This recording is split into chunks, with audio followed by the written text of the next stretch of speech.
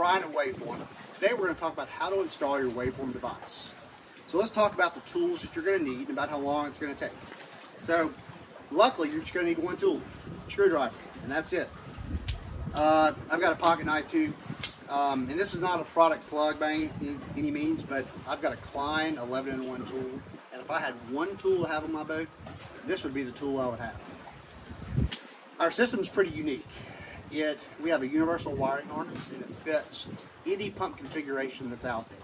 So if you have uh, one fill pump and three drain pumps on a solenoid manifold like we do on the Supra, uh, the harness will work. If you have three fill pumps and three drain pumps, the harness will work. If you have three reversible pumps, our harness will work.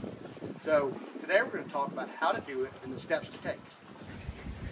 Hey, so let's talk about your wiring harness. Um, we're not going to talk uh, in depth about how switches work in this episode, but we are going to talk about uh, how to install these wires and what this thing on the end is. Um, but the first and most important thing you need to do is find your rocker panel switch. Mine's right over there. We're gonna we're gonna dive in in a second. But first thing, take a picture, please. I mean, I don't want a phone call at two in the morning and you disconnected all of your wires from behind your steering wheel and you need help uh, reconnecting. I will help you, but um, let's just head it off at the pass. Take a picture, picture, pull your rocker panel back, take a picture of all the wires. They're all gonna be different colors. So, or you can write it down if that's your thing. I like pictures. All right, so power's off.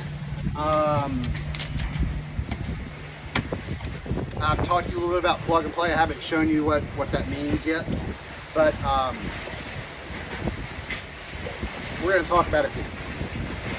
So every rocker switch is going to look exactly the same on the back of it. You'll have, well, let me back up. It, uh, all rocker switches will have the same spade spacing. You may not have all of the spades that this one has, but the spade spacing will be the same. Um, some rocker switches have eight spades, most have seven. Um, the top of the uh, switch is your ground. Um, and this little thing right here, this is a plug socket. This is a rocker switch socket. So you are going to unplug our wires off your switch one by one and you're going to match them up to our wires. And then when you're all done uh, hooking the wires up, you're going to physically take your rocker switch out and you're going to push it in and plug it in uh, to this uh, female socket.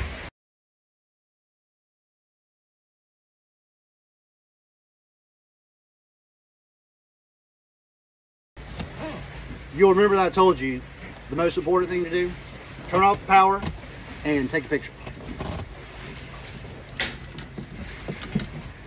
Your rocker panel switch is out.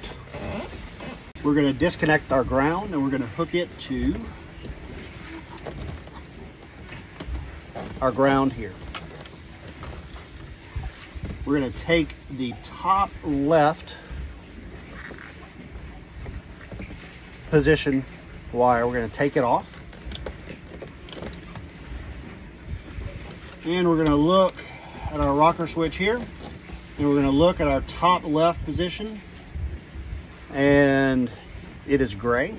And the wire we took off just happens to be gray. That's a, a total coincidence, but um, I will, I will take it. So, okay, so next one we're gonna take this pink wire, which is hot. We're gonna we're gonna go to my switch. We're gonna remove the next one down. Okay. We're gonna find the hot that matches this one. So again, we're just staying in line, moving down this way. We're gonna find this hot. We're gonna plug it in to the same position that was on the switch.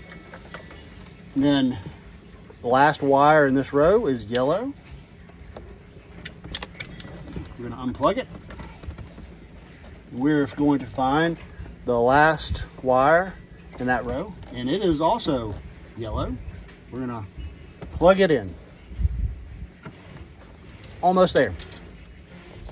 We have another, our next wire down, which is also a hot. So we're going to take it off. We're going to find the wire that it corresponds to. And we're going to plug it in. All right, so we got one last wire on this rocker switch. We're gonna take it off. And we're gonna find the last wire that's on this, this plug. We're gonna plug it in. So now we have we're gonna pop the switch out. We have a completely disconnected rocker switch. We're going to put our harness through the little hole right here.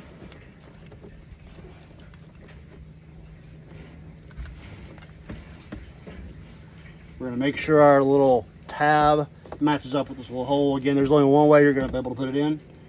And you're going to work it in there. So we got two smart pumps now. So we're not gonna cut, we're gonna just keep going. Our last harness. We're going to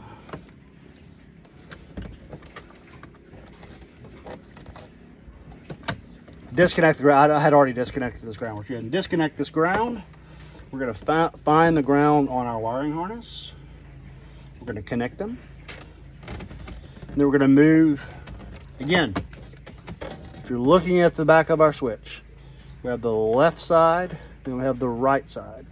We're gonna always start on the left, we're gonna move our way down. So the wire that's in the top left position is gray.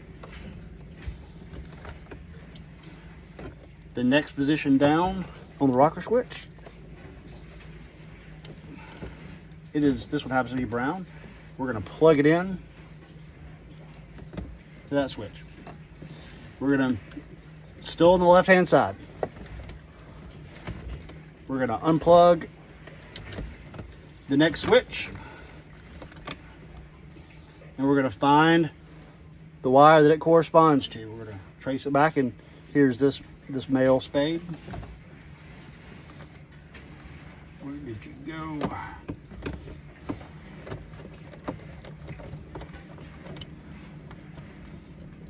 Oh, here we go we're gonna plug these in. So last wire on that row, we're gonna find our last wire, which is always gonna be yellow. Last wire on the left-hand side, so bottom left is yellow. We're going to connect these two. We're gonna go back over to the pump under the rocker switch, we're going to unhook the next wire down. And we're going to find the wire that it corresponds to. Um, and uh, one thing I have not mentioned in these last videos, uh, we do not, on this setup, on my rocker switch switches, I did not have a wire connected in, let me, let me take this off.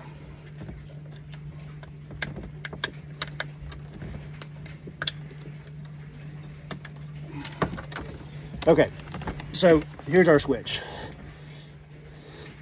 This is always ground. This is the left side. This is the right side.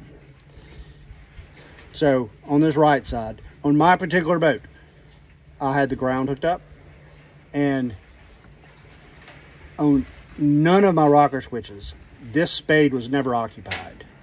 So I'm not going, I'm going to physically skip a space on our harness and we're going to go to the next spade.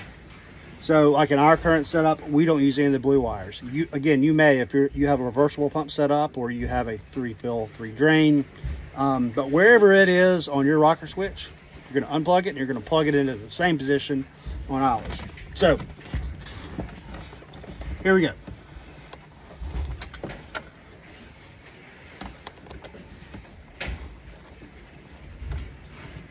I plug, plug my grounds in. The top position for this one, I've actually already done this one. I've gotten, I, I skipped my blue. That, that's right. That's where I was. So the next one down was my hot, which was this one right here. And I connect these two. And then the very last position on our switch, so this thing right here, um, was orange. So I unplugged it and I'm going to find the last position on ours. Again, just matching them up one for one and we're gonna plug it in. So we have completely hooked this rocker switch back up, line up my tab, and we plug it in. Oh, hold on.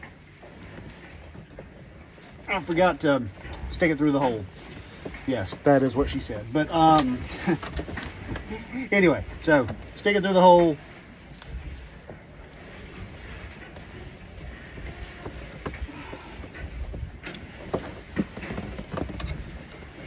Put your rocker switch back in place.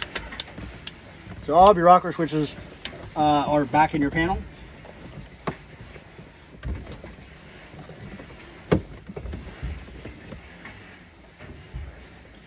Okay, so last thing. Um, you're going to need to find, whew, uh, film me upside down, it's just not fun. Um, you're going to need to find a suitable place to power this on with. Um, and I've got a, I've got a fuse block uh, on my rocker panel switch. So I'm just going to take off one of the red wires and I'm going to find my red wire that I sent you. And we're going to put a piggyback on it. So we're going to plug our red wire onto this spade. And then we're going to find the red wire that you just unplugged we're going to plug it into our piggyback. And we gave you a ground wire power cable. You're going to find ground. You're going to plug it into ground. We'll send you a few piggyback spades and um, what I would actually recommend is when you um, when you get your rocker panel switch off, take all your grounds off and you can uh, uh, put piggyback spades on, uh, put the piggyback spades we're going to send you with them, put them on, and then you can just easily tie your grounds together. So the ground is in. All my switches are plugged up.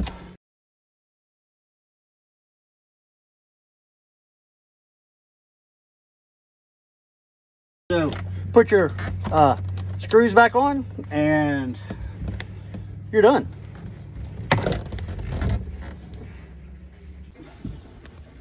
Okay, so here we are again. Uh, you have gotten your panel screwed back on your box installed, press the power button, your light should light up. Now, uh, first you need to check. Make sure your switches still work. So, fill, listen for the pump to come on uh, or to come on. Drain is working, front. I hear the fill pump turn on.